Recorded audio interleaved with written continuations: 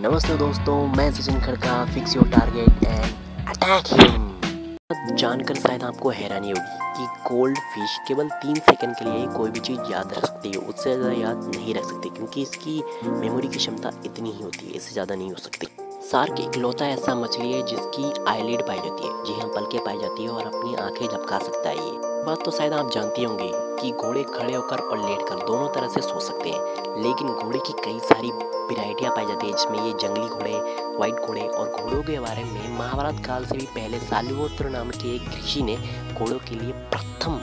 पहली बार कुछ लिखा था और ये मैंने गूगल द्वारा सर्च करके आपको दिखाया है। इच्छाओं को कम कर दीजिए, ताकि आप ज़्यादा से ज़्यादा खुश रह सके और सोशल मीडिया से जितना हो सके उतना दूर रहने की कोशिश कीजिए, क्योंकि ये आपको डिप्रेशन में डालने के लिए, तोड़ने के लिए पूरी तरह काफ़ी है खुश रहना सीखिए, आज़ादी से प्रकृति का